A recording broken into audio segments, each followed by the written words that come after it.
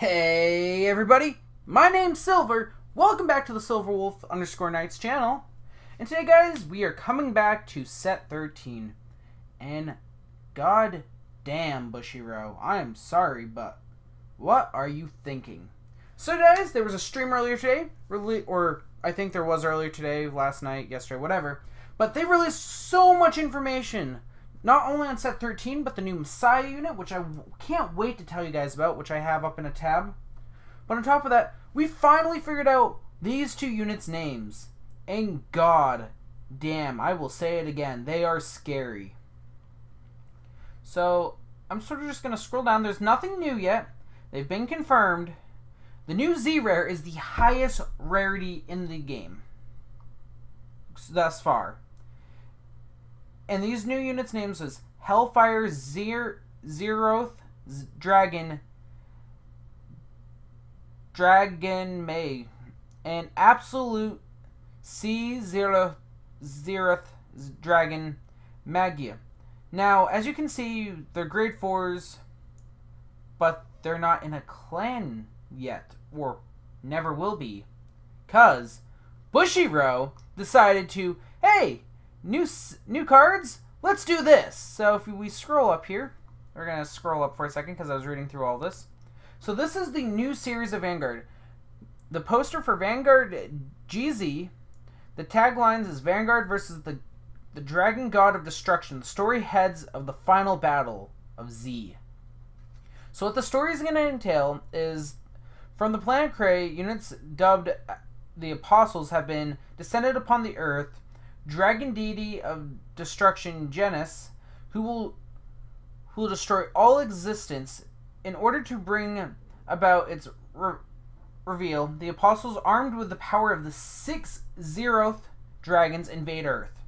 Vanguard fighters stand together to oppose them, fighting side by side in order to break the chains of, chains of destiny and carve a new future. Stride generation, because we know Chrono's going to say that at least ten times.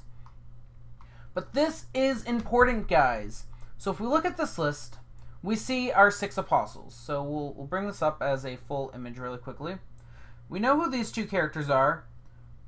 This is the um, Chaos unit, unit, and this is, if I remember correctly, the Kagero guy. But we have four other apostles we have no idea about. I'm assuming, before I've actually read their stuff, Shadow Paladin, because so if there's six apostles, you would have to be United Sanctuary. We got um, probably Dark Irregulars or something like that. Um, one of these two would have to be Aquaforce, and the other one would have to be Zoo Nation. So I want to say Aquaforce just because of his color scheme and Zoo Nation. But again, guys, this is there's more to this. So we got the the Wicked Clown Who Spreads Destruction Chaos Breaker, Link Joker Clan. We got the Lonely Mercenary Who Burns with Revenge, Gijin Kagero. Let's see, I was actually wrong. Okay, so the Queen Who Rules Criminal Organizations, and she's Mega Colony. There's two Mega Colony people? Hmm. Well, um that's a bit different because they're supposed to be six, so I'd assume they were all different. The strongest and the most perfect evil mutant Darkface. Okay, so he was Aquaforce. The fleeting admiral who fell to the Neos of existence, Aquaforce, and he was Dark Irregular. So I got it mixed up a bit, guys. Um, like I said, I didn't read this because I wanted to guess on screen. So it's the Wicked Deity prelate who leads the apostles, and he's Dark Irregulars, which actually is really cool. So the mastermind who sent Shir- Shirno to Earth. Oh God. Um, give me a second, guys.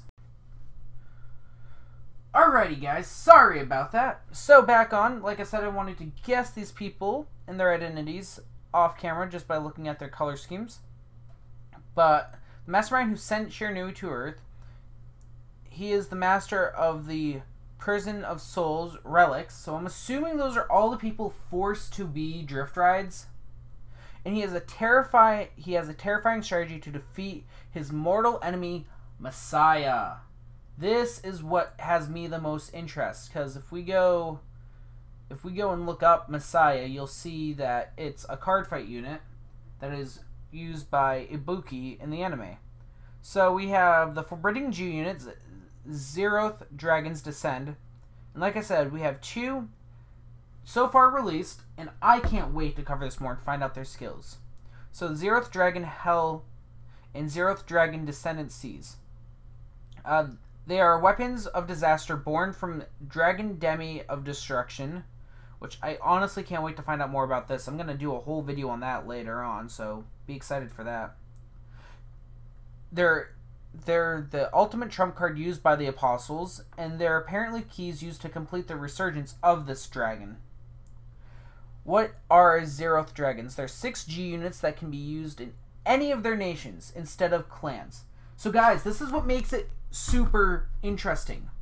It's a unit, a G unit used in every clan. And I don't know how that's going to work because G units normally have a shtick to their clan or their deck build. So are these to house copies of everything?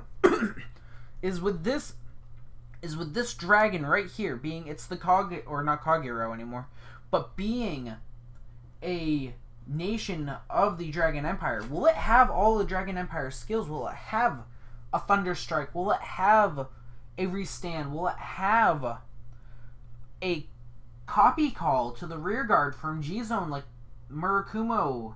Or is it, yeah, Murakumo? Will it have a Dominate skill? What are these unit skills? Is it going to house all the keywords? And then we have Aqua Force, which Aqua Force doesn't have a lot, but is it going to have Harmony and this and that? I mean, I'm assuming that they're going to have skills similar to their decks used in, so this is probably going to be more geared towards Kagero instead of anything else, and this is going to be geared towards more Aqua Force. But guys, literally, like, look at so it's used for all these clans. Is it to house all the skills or what? Um, so the ultimate rarity Z rare, GR's inclusion rate is equal to the conversion rate of the G rare plus S secret rare. And the Z rares are also included. now, the highest rarity inclusion has been, and Z rares are only for the dragons and are super luxur- luxurious card arts whose foils color depend on the nation. So there's probably going to be one per case, and it's probably going to be stupidly overpriced. I'm really hoping that's not the case. um, I really can't read Japanese, so if you can read this, um, let me know. I'm hoping we can get a G rare. There's G rare forms of it, so it's playable. But knowing our luck, they're only going to be Z rare. And if we come back over to this, their only rarity is Z rare, which is unfortunate. So these are their card arts currently. We have we don't know what it's going to take to for them to stride, nor do we know what it's going to really do. But yeah, I'm super excited, guys. And if you guys are excited, please smash that like button so I can cover more of this. I love covering this. And I am super interested right now to see what happens. but guys, set 13 is shaping up to be a pretty powerful set. And with the new series starting in October, it could be the final G arc of this year. I'm assuming this arc is going to be about 20 episodes long, if that. Probably not even that. It's probably going to be about 12 or so. Because of how soon set 12 comes out. And that's going to be end of G. But guys, let me know what you think down in the description below. Not only will this set have a lot of reprint strides, it's going to have ultimate strides.